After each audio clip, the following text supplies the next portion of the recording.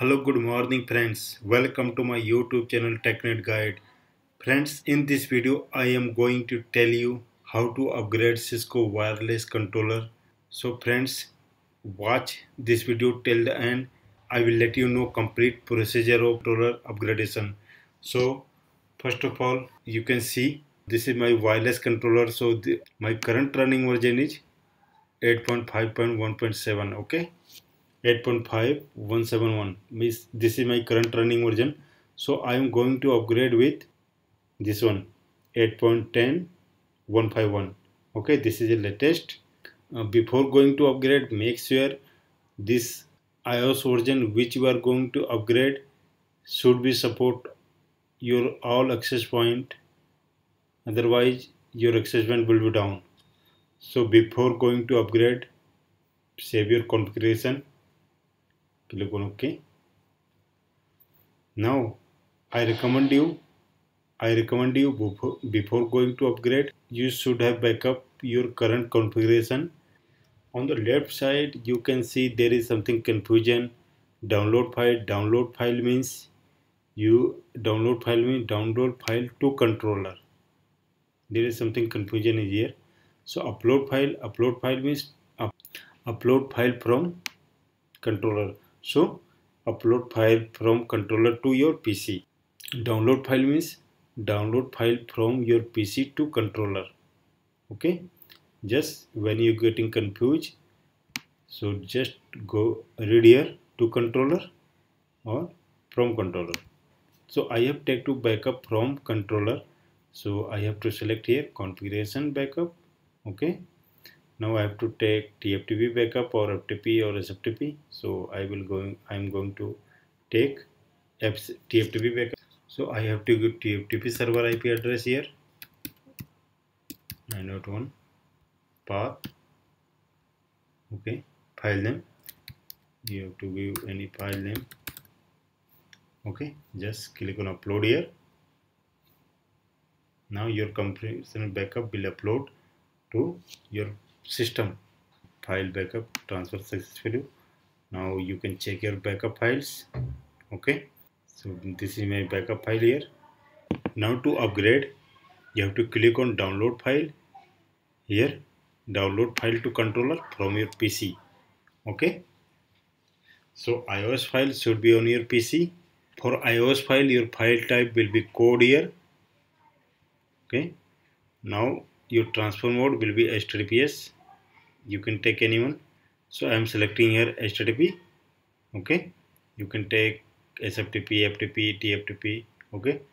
So choose your file name. So this is my file name. Upload here. Click on upload. Now it will download file to controller. Click on download here now received complete extracting the component. Image version checked. Writing new RTOS to flash disk. Writing AP image to bundle. AP image bundle to flash disk. Now file transfer successful. Reboot the controller for update complete. Optionally pre-download the image to before rebooting the reduced network time so friends there is option to pre-download image to your access point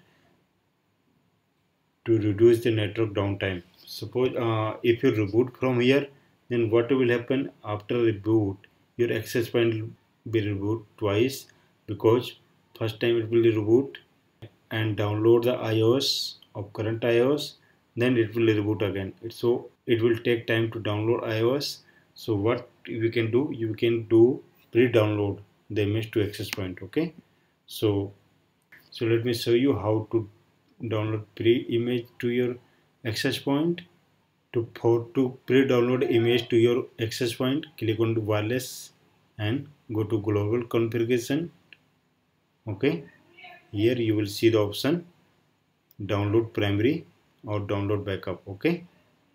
So you have to click on download primary image it will download primary image from WLC to access point. After click on download your so because there is no API associated after complete pre-download image to access point click on interchange image. After inter interchange image you can reboot your access point here to iOS. So let me check config boot.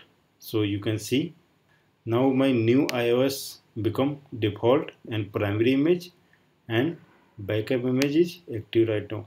After reload it will be default and become active. So go to reboot click on save configuration and go to reboot here. Okay? You can also schedule reboot. Okay? So restart reboot. Click on reboot here. Now after reboot wireless controller will be upgrade so let me check here. My console here is getting reboot here. See it's getting reboot. So you can see it's rebooting with new iOS. So you can see it's rebooted successfully. Let's login provide the password. Now you can check show boot. Now you can see my current iOS is default and active. So check show version. So this info. Okay you can see my current version is 8.10.1.7 okay so go to GUI login here. Login again because it's rebooted again.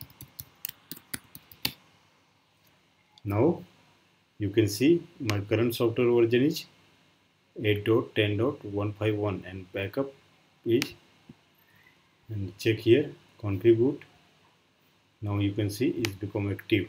Default and become active okay? If you want to downgrade with backup image you have to boot with backup okay? And apply.